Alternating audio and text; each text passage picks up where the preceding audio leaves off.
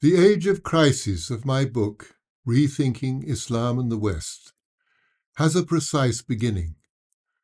August the 6th, 1945. It was on this day that the American pilot Paul Warfield Tibbets, commander of the B 29 Superfortress Enola Gay, dropped an atomic bomb on the Japanese city of Hiroshima. This blast, equivalent to the power of 15,000 tons of TNT, reduced four square miles of the city to ruins and immediately killed 80,000 people. With this cataclysmic event, humanity had crossed a threshold and entered a new age. For the first time, we were capable of destroying ourselves and all life on earth. But such visions of the apocalypse were far from the mind of the young Albert Einstein, who in 1905 was enjoying what he called his annus mirabilis, his miracle year. He was just 26 and he had formulated the groundbreaking equation E equals mc squared. How could he know then what his insight into the structure of matter would lead to 40 years later? He was devastated. Forever after his name has been associated with the atom bomb. The irony is that all his life Albert Einstein had been a man of peace, but through his fertile mind he became the victim of the deadly phenomenon of unintended consequences. And you could say that the age of crises is the result of the accumulation of unintended consequences, some of which took centuries to be manifested. For example, it was in 1712 that Thomas Newcomen from Devon, an ironmonger by trade and a Baptist lay preacher by calling, invented the atmospheric steam engine. The engine was used to pump the water out of the tin mines and revolutionized the mining industry. But the steam engine required fuel. The burning of the fossil fuels had begun. First coal and then oil were extracted from beneath the earth. How could Thomas Newcomen have imagined that his invention would be responsible for heating up the air we breathe, endangering our very existence. Bernhard Heine was a German physician, bone specialist, and inventor. In 1830, after long years of research and development, he invented a bone saw, which he called an osteotome, and which revolutionized surgical treatment. A hundred years later, when Bernhard Heine's little saw was scaled up, it became the mighty chainsaw, the destroyer of forests. Antibiotics have always been considered one of the wonder discoveries of the 20th century.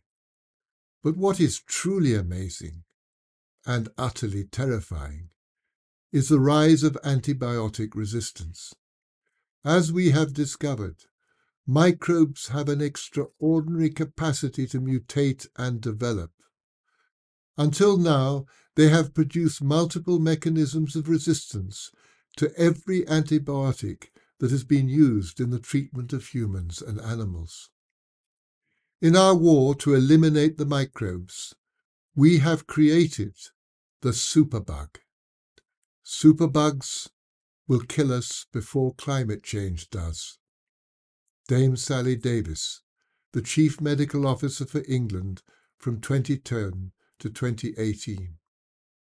In 1907, Leo Hendrik Baekeland, a Belgian born American chemist, was engaged in an experiment when he accidentally produced Bakelite, an inexpensive, non flammable, and versatile plastic, which marked the beginning of the modern plastics industry. Leo Baekeland did not live to witness the catastrophe that his accident had set in motion. He had created a material that was practically impossible to destroy. It is now clogging up seas, rivers, and landfill sites, as well as contributing to global warming when incinerated. Microplastics have taken up residence in the food we eat, the air we breathe, and the water we drink. Thomas Midgley was an American mechanical and chemical engineer who was celebrated during his life and was granted over a hundred patents. During the 1920s, he produced his two most famous inventions the introduction of lead in petrol and CFCs in refrigerators.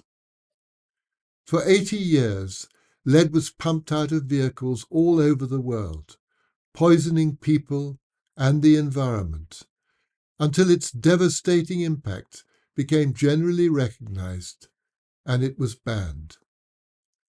CFCs were banned when it was discovered that they were creating a hole in the ozone layer. Midgley had more impact on the atmosphere than any other single organism in Earth's history. J.R. McNeill, environmental historian. Paul Hermann Muller received the 1948 Nobel Prize for Medicine for his discovery of the insecticidal qualities and use of DDT in the control of vector diseases such as malaria and yellow fever. With its success in dealing with the mosquito, DDT rapidly became the pesticide of choice in the home and on the farm.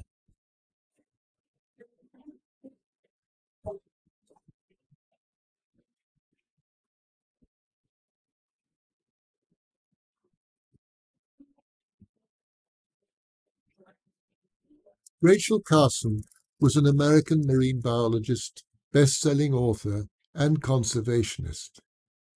Her book Silent Spring, published in 1962, led to the banning of DDT and the establishment of the U.S. Environmental Protection Agency. Silent Spring meticulously described how DDT entered the food chain and accumulated in the fatty tissues of animals and human beings, causing cancer and genetic damage. The book's most haunting and famous chapter, A Fable for Tomorrow, depicted a nameless American town where all life, from fish to birds, to apple blossoms, to human children, had been silenced by the insidious effects of DDT. Rachel Carson and her book received a barrage of attack from the chemical industry. A spokesman declared, Miss Carson claims that the balance of nature is a major force in the survival of man, whereas the modern chemist, the modern biologist, the modern scientist believes that man is steadily controlling nature. Well, most of the birds and insects on farmlands under agribusiness are now silent. But the mosquito is making a comeback, having mutated into a super mosquito. Norman Borlaug was an American agricultural scientist and plant pathologist, celebrated as the father of the Green Revolution. He was awarded the Nobel Peace Prize in 1970. However, the higher yields and greater prosperity that the Green Revolution promised have proved to be illusory. The Indian scientist and conservationist Vandana Shiva, who more aptly named the Green Revolution the Chemical Revolution, has meticulously recorded its disastrous journey through the farming communities of her country. Few people at the time considered the profound social and ecological changes that this revolution heralded among peasant farmers. The long-term cost of depending on Borlaug's new varieties resulted in reduced soil fertility, reduced genetic diversity, soil erosion, and increased vulnerability to pests. Not only did Borlaug's high-yielding seeds demand expensive fertilizers. They also needed more water. Both were in short supply. The revolution in plant breeding has led to rural impoverishment, increased debt, social inequality, and the displacement of vast numbers of peasant farmers. The political journalist Alexander Cockburn wrote Aside from Kissinger, probably the biggest killer of all to have got the Nobel Peace Prize was Norman Borlaug, whose Green Revolution wheat strains led to the death of peasants by the million. Yet another of the modern miracles has turned out to be a nightmare. Some 300,000 farmers in India have committed suicide over the last 25 years, many by drinking pesticide.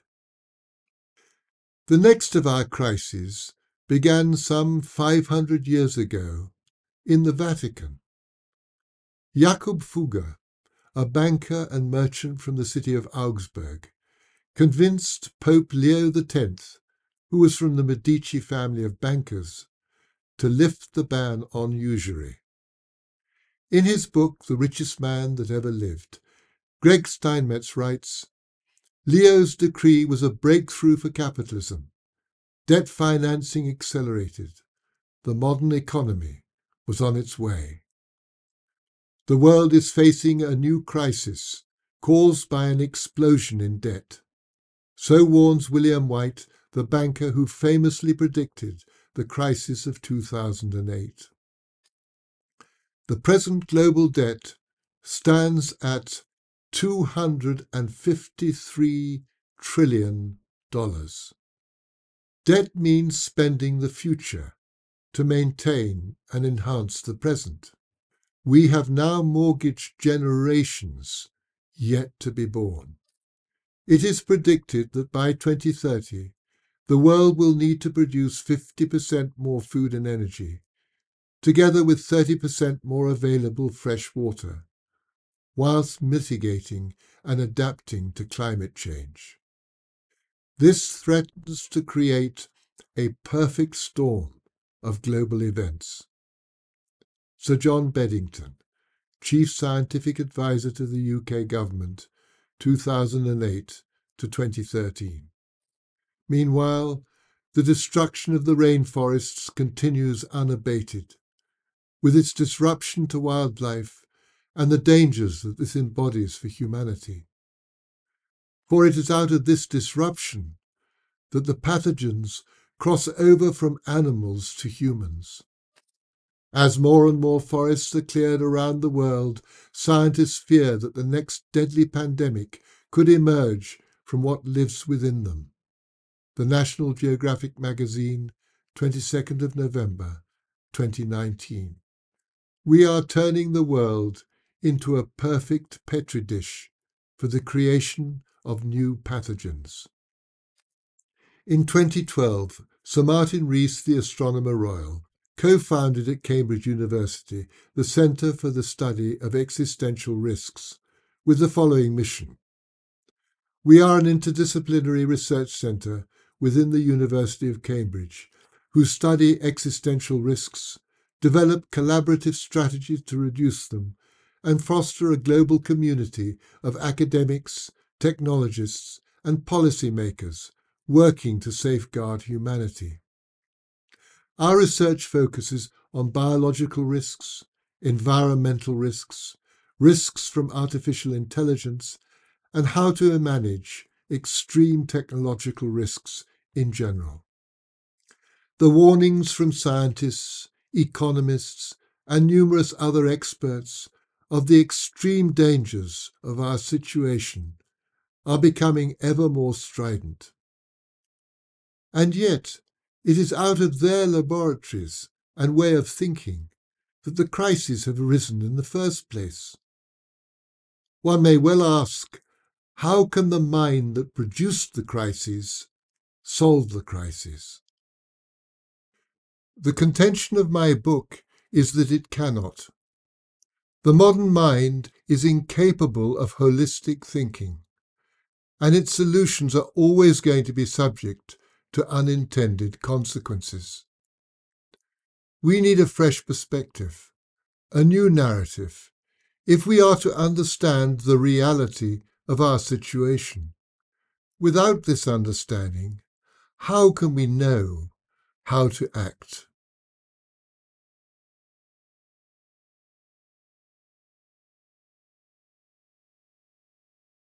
The proposition that I have put forward in my book is that our age of crisis is the direct consequence of the narrative of progress, with its focus on scientific innovation, technological development, and economic growth.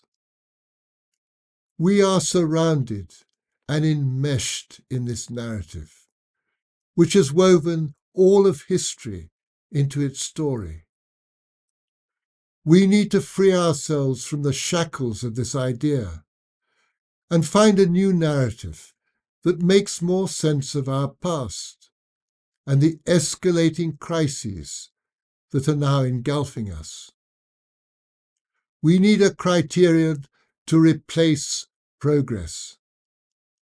And I believe this to be the criterion of balance. Few would argue with the proposition that we are out of balance with the natural world, and that this disequilibrium is now reaching critical stage. Balance is manifested in many ways in cultures and civilizations. And when things are out of balance, sooner or later, they fall apart. In pre modern worlds, a fundamental principle of existence was the balance between the heavenly, human, and earthly dimensions. The principle of balance was at the heart of both Confucian China and Islam and explains the stability and longevity of their civilizations. In this comparative study of Islam and the West, I shall draw on the Islamic articulation of the concept of balance, represented by the Arabic term mizan, which can be translated as balance, justice, measure, or harmony. It is a term which contains a spiritual dimension that our secular understanding of balance does not convey. The primacy of Mizan in Islam is enunciated in the 55th surah of the Quran, Ar-Rahman, the All-Merciful. أعوذ بالله من الشيطان الرجيم بسم الله الرحمن الرحيم الرحمن. علم القرآن. خلق الإنسان. علمه البيان. الشمس والقمر بحسبان والنجم والشجر يسجدان والسماء رفعها ووضع الميزان. ألا تطغوا في الميزان.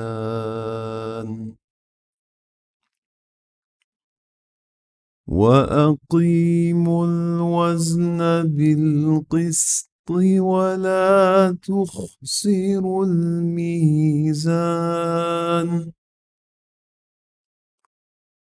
والأرض وضعها للأنام In these verses, the beauty and all-encompassing nature of Mizan is majestically revealed. All existence has been created in balance, and humanity has been commanded to maintain the balance. The centrality of Mizan can be seen in the following formulas or triads. The first of these relates to the levels of existence or being and is called the ontological triad. Before modernity, all cultures and civilizations believed in the sacred origin of their worlds and in the relationship that had to be maintained between the unseen, the human, and the material realms. Christianity and Islam shared an understanding of these realms. Islamic civilization retained the balance and hierarchy within these levels, remaining within the confines of this triad. In the West, however, the collapse of Christendom eventually led to a loss of belief in and knowledge of the spiritual realm. This loss of relationship with the unseen made it impossible for ethics and morality to be objectively rooted, or for the integrity of nature to be fully recognized outside of human use and exploitation. This breakdown of hierarchy and balance has led to our age of crises. The second formula is what I have defined as the vocational triad. The scholar and priest, warrior and ruler, merchant and craftsman can be understood as archetypes, and the relationship between them helps define the character of civilizations. In Islam, the Prophet, blessings and peace be upon him, was the exemplar, encompassing the knowledge of the scholar, the justice of the ruler, and the integrity of the merchant. With this example, a state of balance, interdependence, and fluidity was established between the vocations, creating a stable and sustainable civilization. A very different unfolding took place in the West. For a thousand years, Christianity provided a spiritual culture that was intense and single minded in its vertical aspiration, and overwhelmingly dominated by the priest. The Gothic cathedral is the perfect manifestation of this heavenly quest. With the Renaissance, the warrior hero replaced the saint at the apex of society. Humanism was born, and monarchs became absolute. With the classical palace replacing the Gothic cathedral, the French and American revolutions against the tyranny of monarchs and the fanaticism of the churches, and the Industrial Revolution brought the merchant and modern scientist into power. And the machine world we now inhabit was their creation. The West has proceeded from intense spirituality through humanism to the all encompassing materiality that now surrounds us. Each vocation in the West created its own world, and what we call the open plan brain of the modern contains all three worlds, somehow coexisting together, but in a permanent state of conflict and contradiction. Lastly, we have the Platonic triad. Plato formulated the principle of the need to balance three faculties within the human being those of intellect, anger, and desire. This principle was adopted and developed by both Christianity and Islam. If intellect controls anger and desire, there is peace and harmony. If anger or desire control intellect, conflict and chaos ensue. This triad relates to the individual soul and is also mirrored in the vocational triad, with knowledge corresponding to the scholar, anger to the warrior, and desire to the merchant. The Platonic triad has remained fundamental to Islam and Christianity being central to the disciplining of the soul. However, the reign of the warrior in the West unleashed a flood of violence and anger upon the world, and this was joined by the unfettering of desire with the ascendancy of the merchant, finally leading to the overturning of Christian morality. Nearly a hundred years ago, the Catholic historian Christopher Dawson warned that modern man had cut himself off from the heavens and cut himself off from the earth. We are now experiencing the full impact of this alienation from what sustains us spiritually and materially. We're drowning in a tide of chaos and confusion. And yet humanity remains wedded to the idea of progress. Once we have freed ourselves from the narrative of progress and see the world through the lens of Mizan, the reality of our situation comes into focus. Instead of the triumphant journey of the West to a material paradise, the trajectory can be seen to lead inexorably to our age of crises. At the same time, a new understanding of Islam and its civilization emerges. In episode 3, we explore the role of the reasoning mind in the West and how, when it became detached from religion, it brought into being the machine world, setting in motion the escalating crises that now encompass us.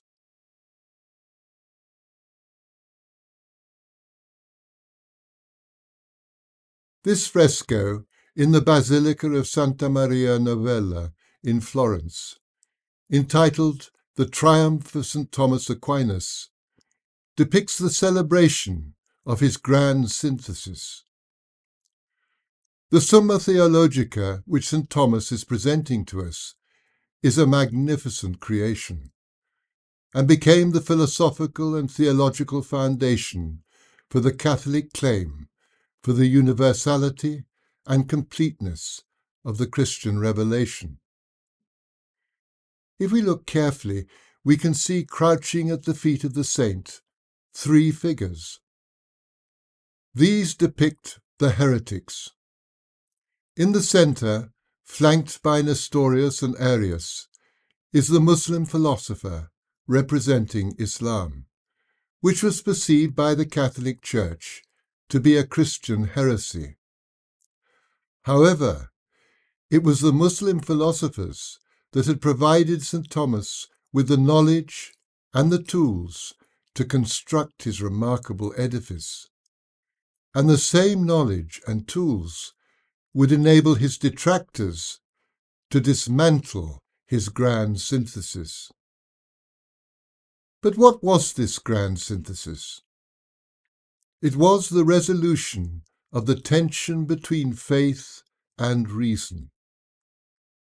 Aquinas compared faith and reason to two books, the Book of Revelation and the Book of Nature.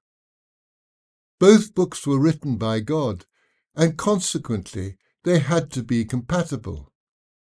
Faith and reason are both ways of arriving at truth, and since all truths are harmonious with each other, faith is consistent with reason.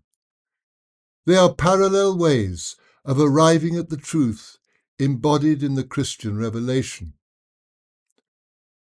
But the grand synthesis could not hold. For William of Ockham, the incarnation was contradicted by logic. Only faith, he asserted, can give us access to theological truths. The ways of God are not open to reason, for God has freely chosen to create a world and establish a way of salvation within it, apart from any necessary laws that human logic or rationality can uncover. He urged that philosophy and theology be divided into separate branches of study. The Catholic Church was now divided between those who followed Thomas Aquinas and those who followed William of Ockham. Western Christendom was ready for its cataclysmic splitting asunder. It was Martin Luther, a follower of Occam, who carried his thinking to its logical conclusion and anathematized reason. Reason is a whore, the greatest enemy that faith has. It never comes to the aid of spiritual things, but more frequently than not struggles against the divine word, treating with contempt all that emanates from God. Martin Luther banished reason from religion. Some 200 years later, the philosopher and Lutheran pietist Immanuel Kant expressed the dilemma he faced. I had to deny knowledge to make room for faith. The reasoning mind was now free of the shackles of religion and could become its own master, the only arbiter of reality. The French philosopher René Descartes heralded this triumph with the famous statement, I think, therefore I am. But the reasoning mind, divorced from its proper context in metaphysics and revelation, could only understand the world as quantity, in terms of numbers. Descartes wrote, In my opinion, all things in nature occur mathematically. With me, everything turns into mathematics. The mathematical precision of Sir Isaac Newton's account of the universe led to the invocation of his theories to support a range of mechanistic views. This depicted the material world as a great machine that is essentially self-sufficient, a clockwork universe. From the imaginings of the isolated reasoning mind to the realization of the machine world we inhabit was but a small step. However, there needed to be another ingredient to create the mind that could engineer such a transformation. For a thousand years, the monasteries had been at the heart of Western Christendom. But with the Reformation, the life of monks, nuns, and friars came to a sudden end in Protestant lands. What followed was the greatest destruction of a culture wrought upon itself ever to have taken place. In England, nearly a thousand monastic sites were destroyed. The contemplative heart of Christianity was ripped out. But what followed was truly extraordinary. Having made a ruin of our own living world, we dug up a civilization that had been dead and buried for a thousand years and idealized it. We gathered up the broken sculptures, friezes, inscriptions, and columns, and placed them in temples, which we called museums. There we could preserve and study the artifacts that constituted our new culture. Instead of belonging to a world which formed us from inside, we became the detached observers of a dead world that could only be brought back to life through our imaginations. This change in perspective occurred dramatically in the realm of art. Christian art surrounded the worshipper, who was the recipient of the stories and teachings it conveyed. With the introduction of perspective, the isolated work of art was born, and the human being became the detached observer, no longer belonging to a holistic culture. Man had become the measure of all things, usurping God's sovereignty. The detached modern mind, saturated in hubris, that could only see the world in terms of quantity, was born. Sir Francis Bacon chillingly expressed this new mind. My only earthly wish is to stretch the deplorably narrow limits of man's dominion over the universe to their promised bounds. Nature will be bound into service, hounded in her wanderings, and put on the rack and tortured for her secrets. The rape of nature had begun. The world would now begin to experience the chthonic principle, that the deeper you go into matter, the greater the forces that are released. With the extraction of the fossil fuels from the earth, the Industrial Revolution erupted. The splitting of the atom ushered in our age of crises, and at CERN, with the Large Hadron Collider, the delving ever deeper into matter continues. The devastating results of our uncharted journey into matter are all around us. At Cambridge University, half the scientists, such as those belonging to the British Antarctic Survey, are dealing with the unintended consequences of previous scientific breakthroughs. Whilst the other half, such as the Nanoscience Centre, are busily producing the next generation of unintended consequences, which, if you follow the chthonic principle, are likely to be even more devastating. The fruitless quest to understand and control existence through its material manifestation continues unabated. Shortly before his death, Stephen Hawking was asked, In physics, there are these two huge theories Einstein's theory of relativity and quantum mechanics. The Holy Grail for some time has been how can we draw these two together? It's what people refer to as the theory of everything. Do you think we will ever achieve that? Stephen Hawking answered, I think we will eventually discover a unified theory, though it may take longer than the 20 years I predicted 45 years ago. The scientists' search for this holy grail cannot be realized and must end in failure. The completeness they are seeking in the material world is not there, because the material world belongs to a greater reality. The whole can contain the part, but the part cannot contain the whole. But what is profoundly significant, and is central to my book, is the desire for oneness, wholeness, and completeness that resides in the human mind. It failed to achieve satisfaction in Christianity, and the modern scientists are engaged in a never ending quest.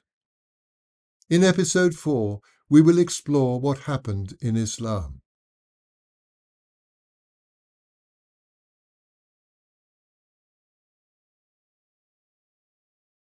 On completing episode 3, I had intended to go straight on to the ascent of Islam, in which we explore the trajectory of knowledge and follow what actually happened to the reasoning mind in Islamic civilization. However, there is a major obstacle blocking our path the myth of the golden age of Islam. This 19th century Orientalist invention has taken hold of both the Muslim and Western imaginations. What has resulted is a distorted and dangerous idea of Islamic civilization, which has become generally accepted. Thomas Babington Macaulay was the historian who became the popular evangelist of this narrative. We see him here immortalized in stone, standing on his plinth in the chapel of Trinity College, Cambridge. He believed in the utter superiority of the European over all other nations, and that the English were the greatest and most civilized nation the world had ever seen. He lived when England was at the zenith of its power, with an empire that surpassed that of Rome. It was the centre of commerce and the workshop of the world, having plundered Bengal of her wealth and destroyed her renowned cotton manufacture in the creation of the Industrial Revolution. Macaulay embodied the absolute belief in the Enlightenment idea of the ever upward march of human progress. This narrative divided history into three periods ancient, medieval, and modern. The seminal events in this narrative were the fall of the Roman Empire and the Renaissance, with the rebirth of civilization. This rebirth set in motion a series of religious, scientific, political, industrial, and social revolutions, leading to the constantly changing world we now inhabit the thousand years of Christendom were relegated to a dark age of ignorance and superstition. It was into this narrative that Islam was introduced. The story went that Islamic civilization during Europe's dark ages kept alight the knowledge of the ancients and enjoyed a golden age. President Obama, in his Cairo speech of June 4, 2009, perfectly enunciated the Golden Age of Islam thesis. As a student of history, I also know civilization's debt to Islam. It was Islam at places like Al Azhar University that carried the light of learning through so many centuries, paving the way for Europe's Renaissance and Enlightenment. Islam and its civilization were seen as tributaries feeding the river of Western civilization, a bit player in the narrative of progress. And yet the Cairo audience seemed happy and indeed honoured by this designation. But the story continues. Having received the torch, the West embarks on its dynamic arc of progress, and Islam and the Muslims enter centuries of stagnation and decline. President Truman, in his inaugural speech on January the 20th, 1949, divided the world between the developed and underdeveloped nations, which, with America's help, would become developing nations. The call now came for the Muslims to awaken from their long slumber and catch up with the West. With 9 11, the floodlights turned on Islam and the Muslims. The deadly sting in the tail of the Golden Age narrative was seized upon by those who went into the attack on Islam and everything it stood for. The idea that the Muslims had produced nothing for nigh on a millennium was grist to their mill.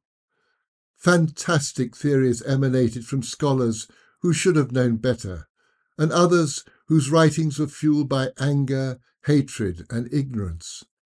Books, articles, and social media posts poured forth upon an ill informed public reeling from 9 11 and in need of a scapegoat.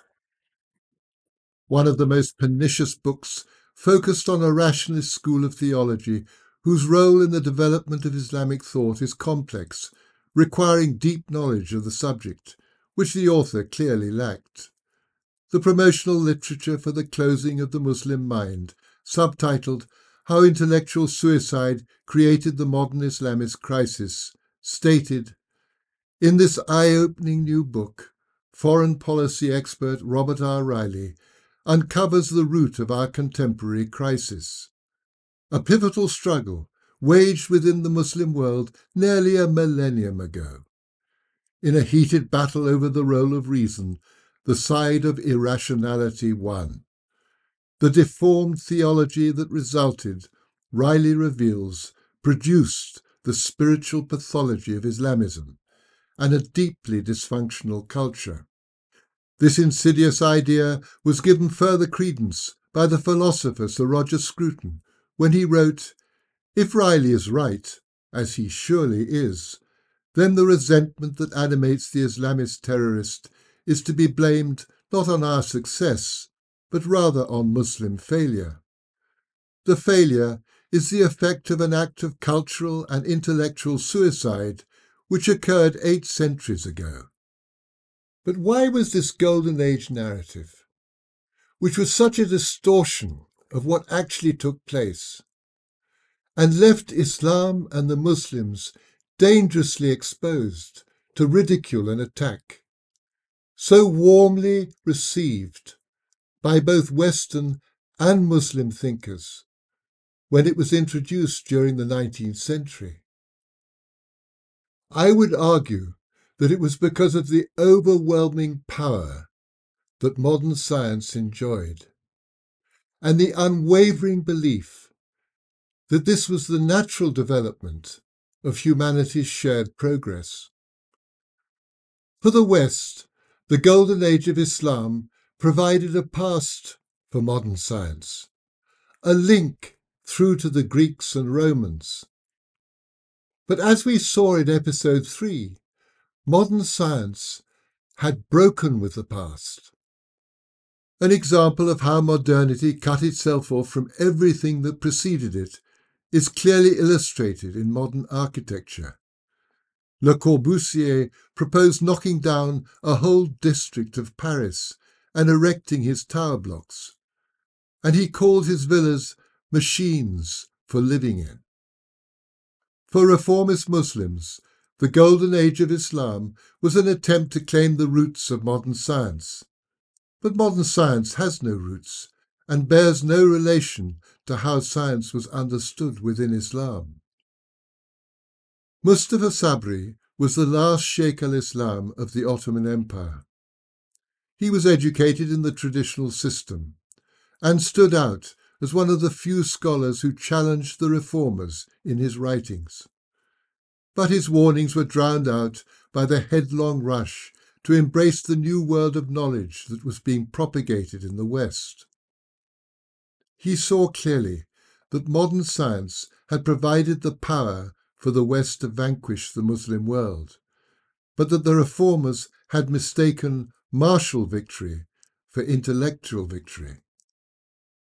Sheikh Mustafa Sabri knew that the traditional Islamic system of knowledge fulfilled all the requirements necessary for humanity to flourish both in this world and the hereafter.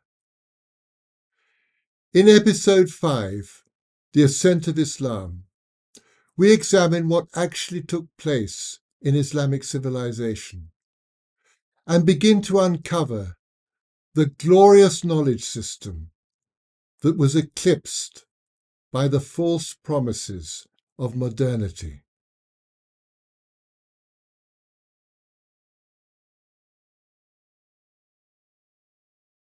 أعوذ بالله من الشيطان الرجيم بسم الله الرحمن الرحيم.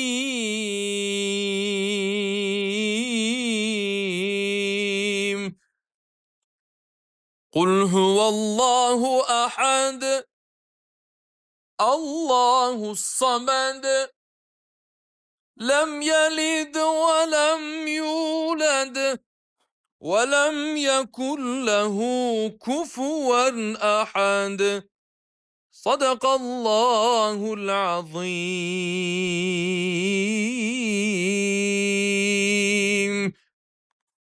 In episode 3, we saw how the desire for oneness, wholeness, and completeness resides naturally in the reasoning mind.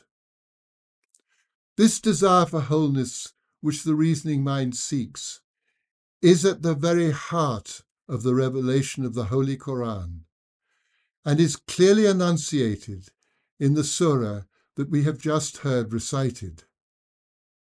Ikhlas is the 112th surah of the Quran, and its English meaning can be translated as purity of faith. However, it is often referred to as the absoluteness, the unity, the oneness, the declaration of God's perfection. It was through the seal of the prophets that this perfection was manifested to humanity. The Prophet Muhammad, blessings and peace be upon him, was born in Mecca, a trading station on the route that connected the Indian Ocean and the Mediterranean Sea.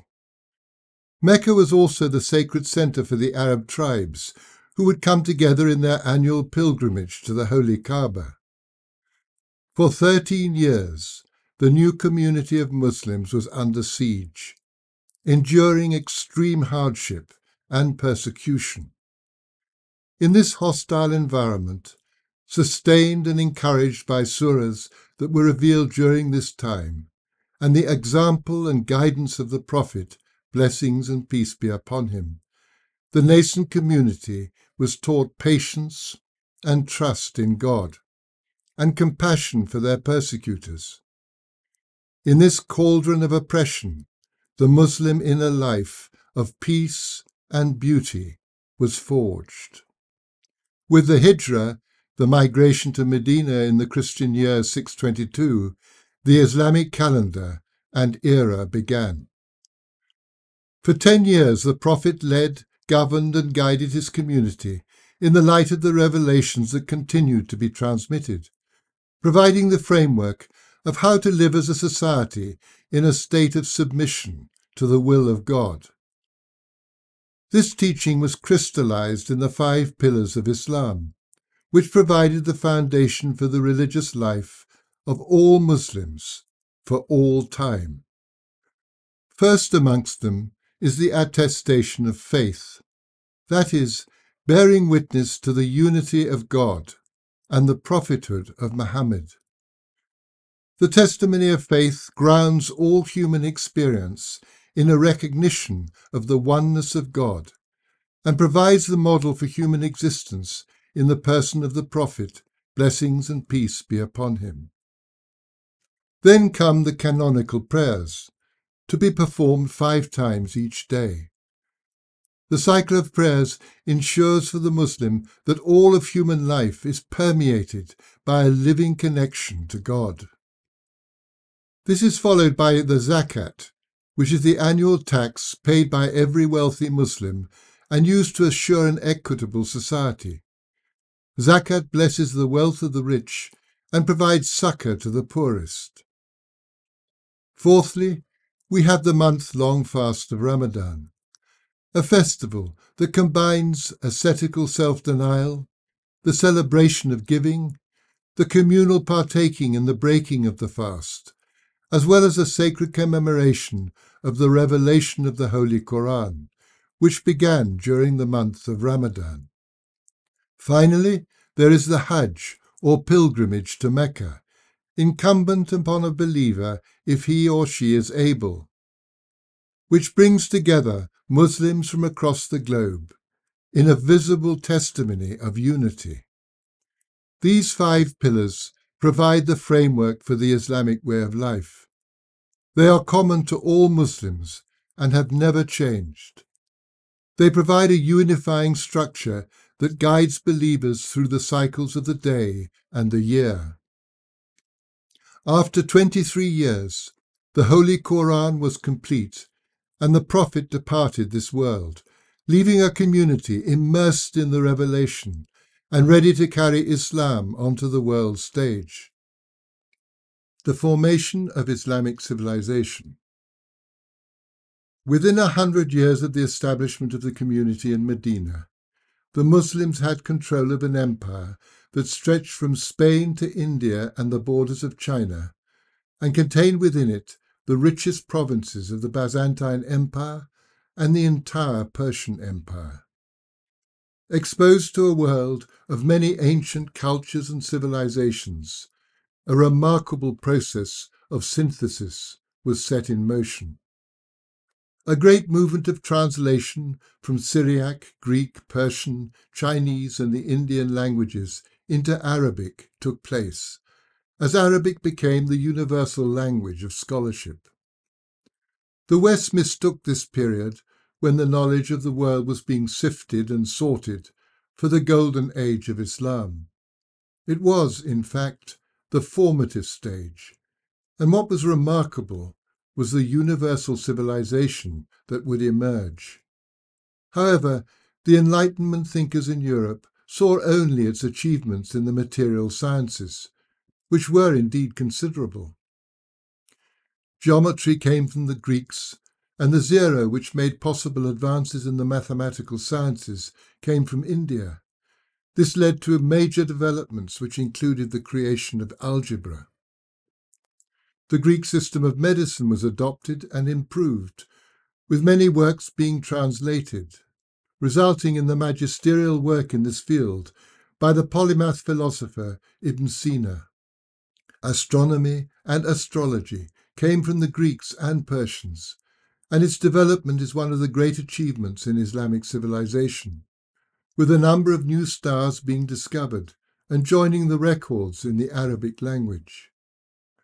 Remarkable work was done in the field of anatomy, especially in the case of optics.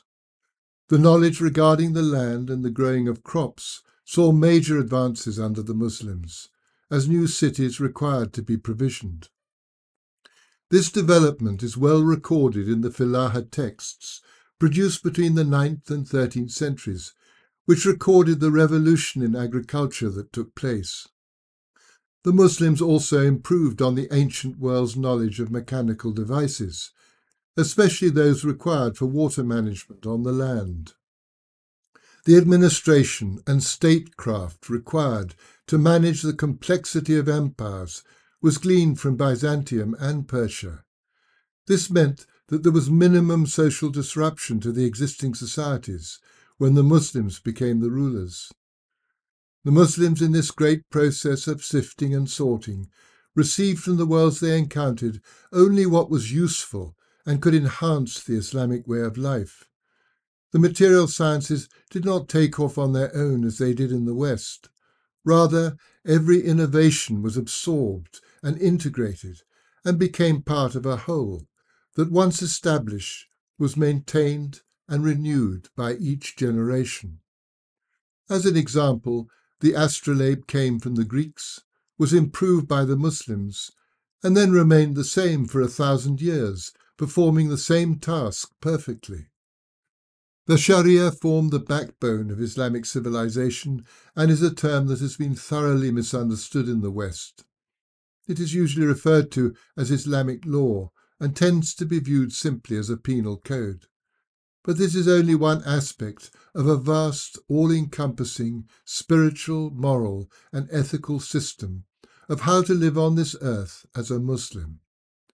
It defines the relationships and obligations that obtain between mankind, his creator, his fellow human beings, and the creation.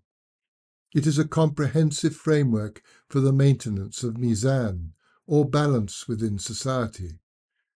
It was produced by scholars and came into being through the process of instructing, guiding, and counseling the community. The Holy Quran the Hadith of the Prophet, and the five pillars of Islam would provide the unchanging kernel out of which the civilization would grow. When this stable, permanent, sacred core engaged with the great civilizations of Afro-Eurasia, the dynamic process of transformation took place, as the knowledge required to move from the tribal worlds of Arabia to a fully formed universal civilization was assessed, assimilated, and developed. It took some 500 years for Islamic civilization to be fully formed, by which time the Sharia reached its maturity. Colleges and educational institutions were founded, craft and merchant guilds set up, and the tariqas to regulate the Sufi path came into being.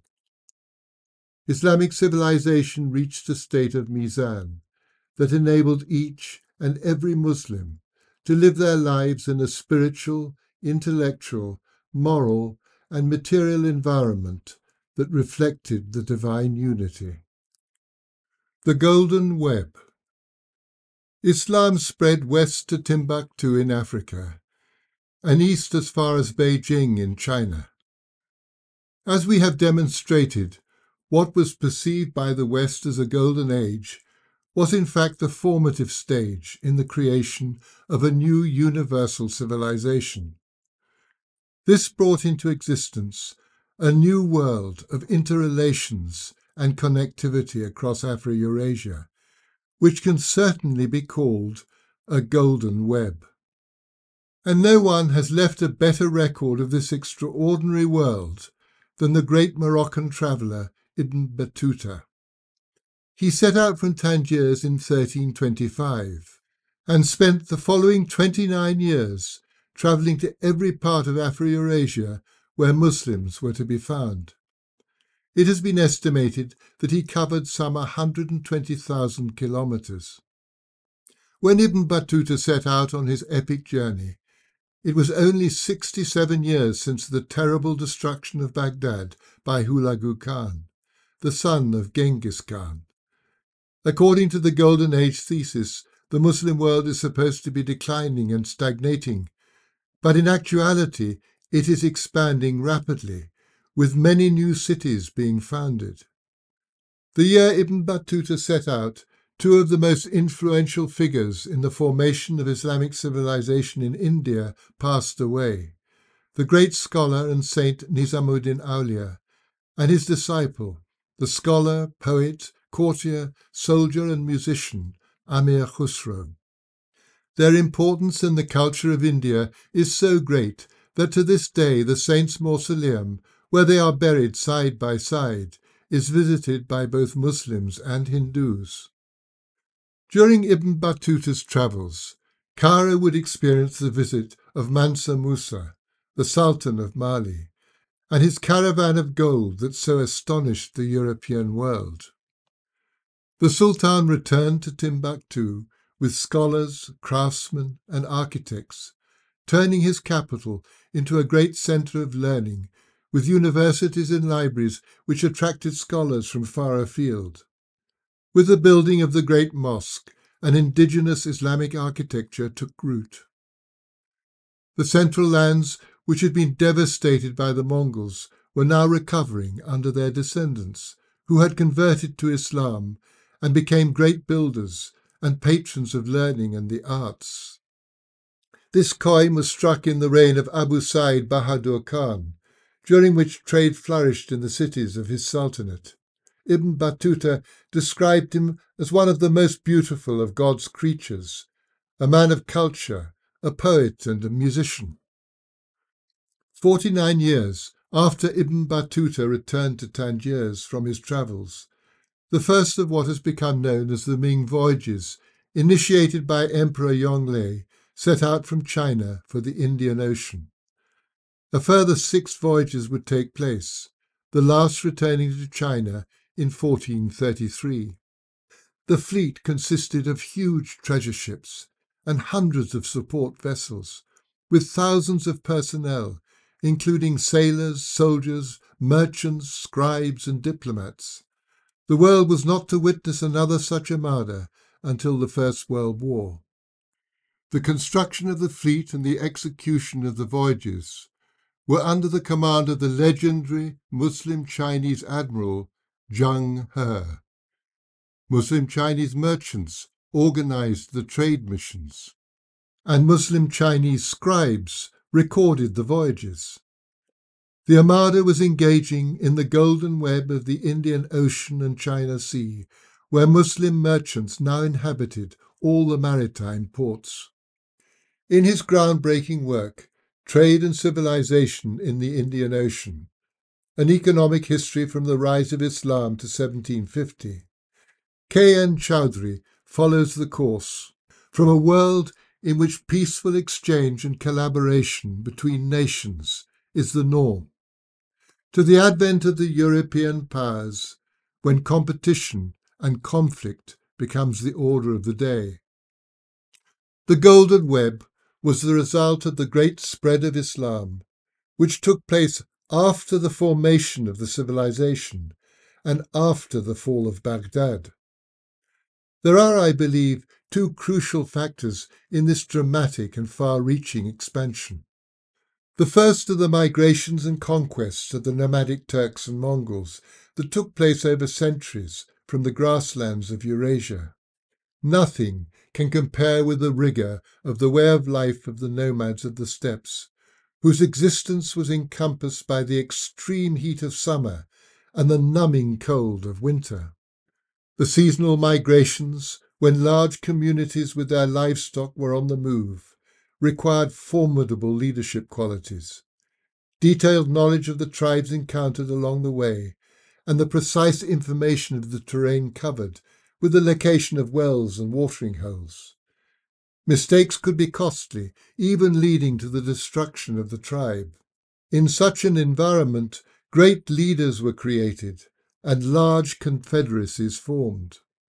At the time of the birth of the Prophet, blessings and peace be upon him, the greatest of these confederacies straddled the entire steppes from Mongolia to the borders of Hungary. This Turkish Empire lasted a hundred years before it broke up. There followed the great migration of the Turks and Mongols into the settled lands.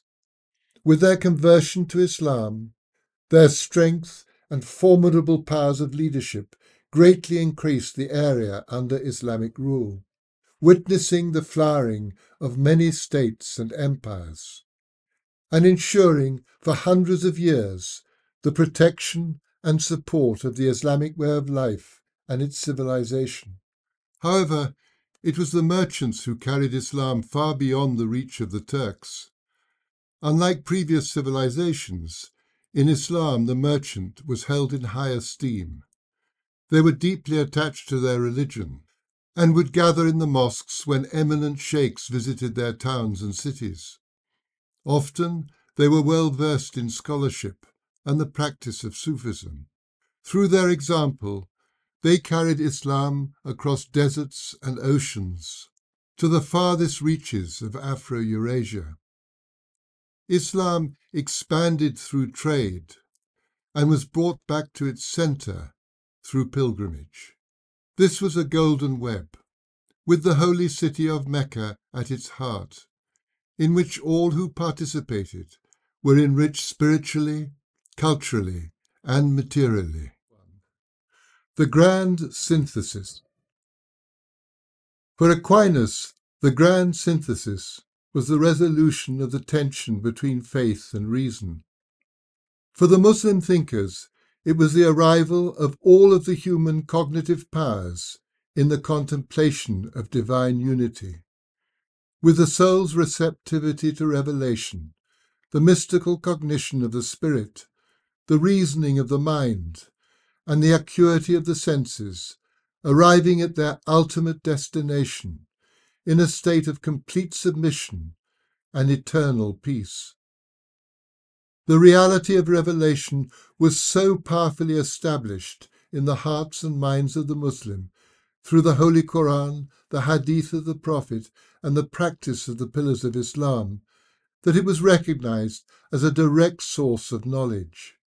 In Islam, the cognitive faculties are focused upon comprehending, experiencing, and absorbing the revelation.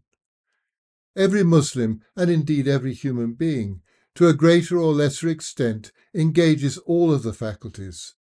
However, some are more developed in a particular individual than others. Those with active reasoning minds tend towards philosophy, theology, and the material sciences. Those endowed with mystical cognition are drawn to Tasawwuf or Sufism, whilst those who have heightened sensory perception become artists or craftsmen. For the revelation to be manifested as a civilization, the forms and methods for each of the cognitive faculties required to be fully developed. Imam al Ghazali refers to the wisdom of the craftsman and it is through the elevation of the senses that artists and craftsmen participated in the synthesis of knowledge. Just as the Sharia enshrined the way of life for the Muslim, the craftsman fashioned the environment in which the Islamic way of life could be lived.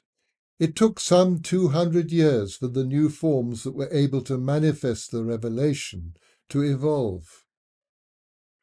With calligraphy and the art of illumination, the sacred nature of the Holy Quran became visible. The integration of calligraphy and geometric pattern produced an environment that allowed the Muslim to be constantly within the experience of the divine unity. At the heart of the Islamic city was the mosque, where all the crafts were engaged in a glorious display of beauty and harmony, to celebrate the central role of mankind, the worship of Almighty God. Once the principles and methods of the arts, crafts, and architecture were established, they were realized wherever Islam took root. But the universality of Islam was revealed in the way in which all the various cultures, inhabiting different kinds of environments, expressed their unique qualities. A perfect balance between unity and diversity can still be experienced through the great mosques that straddle Afro-Eurasia. The crafts of husbandry and farming produce gardens of refreshment and contemplation, and a fruitful environment that provided the food and materials necessary for the support of cities, towns, and villages. The knowledge of those who tended the land increased from generation to generation as they collaborated with nature to produce sustainable systems that constantly renewed the fertility of the earth. The crafted environment of the city and its hinterland provided a stable world in which generations of Muslims, and indeed all those living under Islam, could lead lives fully connected to and integrated in the spiritual and material realms.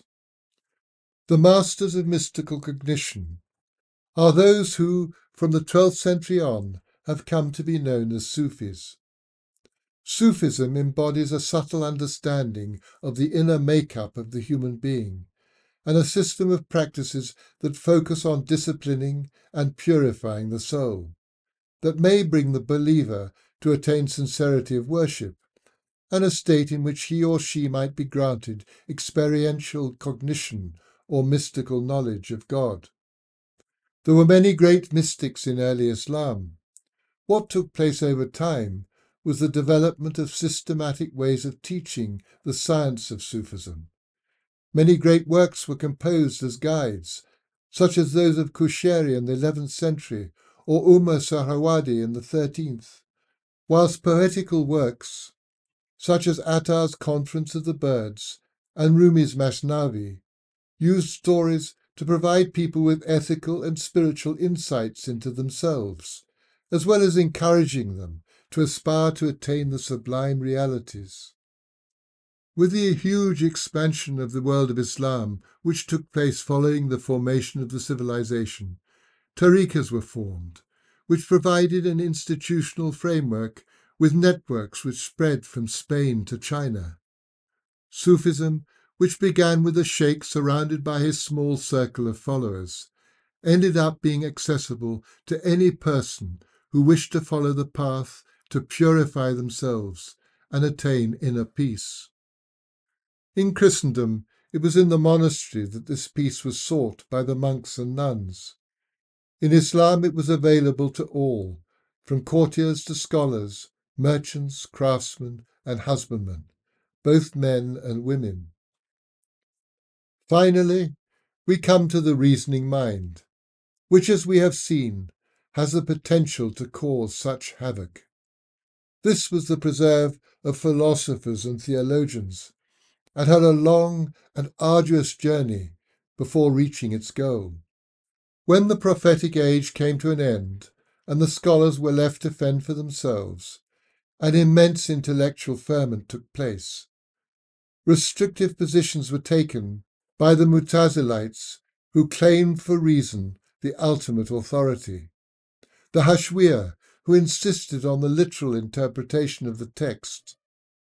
And the Batinists, who sought only to understand the inner or symbolic meaning of the Quran the mereological principle that the whole can contain the part, but the part cannot contain the whole, was tested.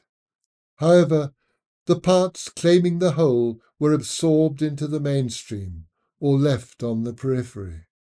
Many great thinkers contributed along the way to the realization of the grand synthesis. Foundations were laid by Ibn Sina and Imam al Ghazali. Ibn Sina transformed philosophy and developed a universal science of metaphysics that could encompass all of the sciences and simultaneously attain the heights necessary for an adequate intellectual treatment of revelation. Imam al Ghazali's monumental work recognized the mystic path as reaching the highest knowledge of God attainable, within a framework that acknowledged the value and relationality of every field of human knowledge. This chart shows some of the scholars who contributed to the crystallization of the grand synthesis, first among whom were Fakhruddin al-Razi and Ibn Arabi, known forever as the greatest master. Al-Razi applied his epoch-making intellectual power to a synthesis of Avicennan general metaphysics and the revelatory principles of Kalam theology. He created a new, all-encompassing Kalam, in which all knowledge was shown to be part of a single truth. His work paved the way for the great summas of the 14th and 15th centuries. Ibn Arabi, for the first time, fully encompassed philosophy within his mystical vision, and thus contracted a sublime marriage between them. By the 15th century, a synthesis of Akbarian, Avicennan, and Razian thought was complete. Powerfully exemplified in the works of later thinkers like Mulla Fanari and Tashkoporizade in the Ottoman world, and Shah Waliullah and the Farangi Mahal school in the Mughal world. The hierarchy of knowledge had been established that took in the revealed sciences alongside all the branches of philosophy and mysticism. The reasoning mind had reached its goal. The cognitive powers were now one in their contemplation of the divine unity. This is beautifully expressed in the following passage. The way of deductive inference and the way of contemplative witnessing, both of the two ways become resolved into the other, such that the person in possession of them both becomes a meeting place of the two seas. That is, the seas of deductive inference and contemplative witnessing, or knowledge and gnosis, or the observed world and the unseen world. Sublime intelligence, perfect synthesis, the mind at peace. We shall show them our signs on the horizons and in themselves, until it becomes clear to them that it is the truth. A nation justly balanced. The revelation of the Holy Koran was transmitted through the seal of the prophets and engaged all the types and vocations of humanity according to their roles in the realization of a universal civilization. The scholars who were the guardians of the Sharia ensured that the practice and understanding of the revelation was maintained from generation to generation, and were the guarantors of the continuity and stability of the civilization. The warriors and rulers who came and went as dynasties rose and fell were the protectors of the realm, the maintainers of justice, the patrons of learning, and the builders of mosques, madrasas, and those institutions which supported the Islamic way of life. The merchants of Islam traversed the trade routes by land and sea and carried Islam with them. Cities and their markets flourished, and the wealth of the merchants benefited the whole community through the charitable trusts, which came to hold as much as half the wealth of the society. The wisdom of the craftsman and the husbandman produced and maintained a beautiful, stable, and sustainable environment which reflected the divine unity. The revelation reached and nourished every part of society. Thus have we made of you a nation justly balanced, that ye might be witnesses over the nations, and the messenger a witness over you the destruction of Islamic civilization. For more than a thousand years, Islam succeeded in creating a stable, sustainable, universal civilization which maintained the Mizan. Generations of Muslims cherished their holy book, loved their prophet, were happy in their religion, were at home in their culture, and found peace in their civilization. Then a force rose up in the west which at first challenged, then overwhelmed, and finally all but destroyed Islamic civilization. The trauma was so great and the power of what has replaced their world so complete that the Muslim memory of the past has been almost entirely erased. But the sacred core of Islam remains completely intact and fully operative. At this time, when all humanity is racked by crises, suffering, and fear, many Muslims are finding inspiration and solace in the 13 years that the Prophet, blessings and peace be upon him, spent under siege and persecution in the holy city of Mecca, and are attempting to follow his example by responding with patience, forbearance, compassion, and love for Almighty Allah's creation. Just as Islam was perfectly manifested in its origin and in its formation as a universal civilization, so it is perfectly formed as a haven from the storm that humanity is now passing through.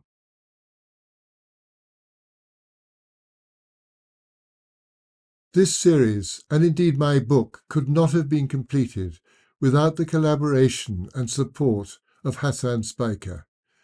His work following the trail of the great scholars of Islam is shedding light on the grand synthesis, which is transforming our understanding of Islamic civilization. Later this year, inshallah, his book on the subject, which is the result of more than a dozen years of research, will be published. I would also like to thank Imam Ali Tos and my son Ali Keeler for their beautiful recitations from the Holy Koran. Finally, I have been incredibly fortunate in being able to work with Colin Ramsey and Dragonlight Films in the production of this series. He has greatly enhanced what started out as a basic slideshow, which I was to present to live audiences on my book launch tour. Many thanks, Colin, for a very rewarding collaboration.